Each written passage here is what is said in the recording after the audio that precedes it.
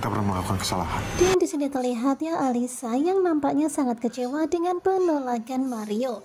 Dan tentu saja kita senang banget ya Mario menolak ajakan Alisa.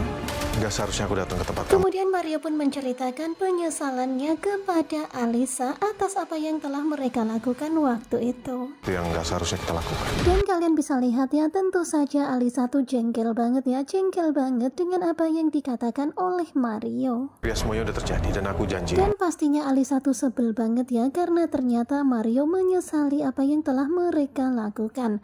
Sementara nampaknya Alisa sangat bersemangat untuk mengajak ahem-ahem. Tapi aku gak mau kalau sampai kita melakukan kesalahan. Dan pastinya kita semuanya seneng banget ya. Di sini Mario tuh lagi sadar ya dan gak tergoda. Ya bersyukur ya Mario tuh gak tergoda. Kesalahan yang sama lagi.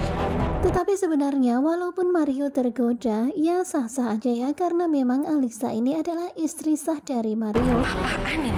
Dan kalian bisa lihat ya bagaimana ekspresi kekesalan Alisa ketika melihat Mario bersikap sok-sok seperti itu. tiba-tiba jadi berbalik lagi kayak gini Dan pastinya bete banget ya karena dia gagal menggoda Mario. Lagi-lagi Mario tuh bersikap seperti itu. udah jatuh cinta betulan sama Dan tentu saja Alisa sangat curiga jangan-jangan Mario sudah benar-benar jatuh cinta pada Alia.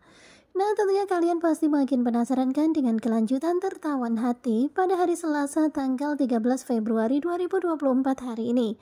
Nah kira-kira bagaimanakah kelanjutannya? Simak kelanjutannya hanya di SCTV dan jangan lupa terus dukung Gugu Coba. Terima kasih ya buat kalian yang selalu setia dan jangan lupa nantikan video selanjutnya. Terima kasih dan bye-bye.